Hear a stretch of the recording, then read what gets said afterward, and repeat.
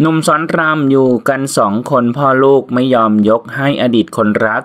ทำว่าทำงานหนักมากเจ็ดวันเพื่อลูก แต่มีความเสียใจเรื่องอะไรนุ่มกล่าวว่ามันค่อนข้างเกิดภาวะหนึ่งครับ แต่ก่อนวิจิจะคลอดยังไม่ได้แยกครอบครัวต้องติดต่อสื่อสารวิดีโอคอลแต่พอโควิด เรามีโอกาสอยู่กับลูกมากขึ้น พอโควิดหายต้องกลับมาถ่ายละครต้องเดินทางงานเยอะ วิจิต้องเข้าโรงเรียนด้วยเวลามันไม่ตรงกัน โทรศัพท์ไปตอนเราเบรกเขาหลับแล้วคุยไม่ได้แล้วใจเสียเหมือนกันนะ บางทีเสร็จดึกโทรหาลูกหลับไปแล้วทำว่าหักดิบในการดูแลตัวเองหนุ่มกล่าวว่าใช่ครับ เพราะห่วงวิจิมาก เขายังเล็กต้องห่วงเขาอีกนาน เลยคิดว่าสิ่งที่เราทำมันมีประโยชน์กับตัวเรายาบางตัวก็ไม่ทานเลย พยายามให้เป็นออร์แกนิกมากที่สุด ออกกำลังกายด้วยผอมลงถามว่าวิจิทำให้เปลี่ยนชีวิตใหม่ หนุ่มกล่าวว่าถูกต้องครับ อย่างน้อยทานอาหารมีประโยชน์ต่อตัวเอง รู้จักพักผ่อน อาจจะเรียกว่าโต